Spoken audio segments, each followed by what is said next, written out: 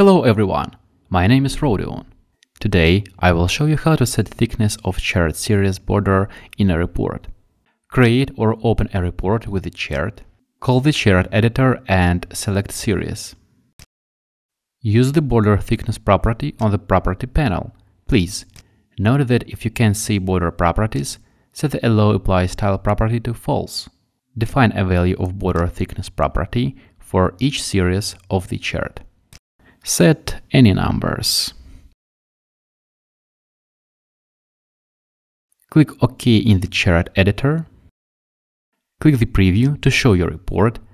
Now you can see border thickness of each chart series. Thanks for watching, follow the news on our social networks and subscribe to the video channel. If you still have any questions, leave your comments below or send us a request to support at Have a good one!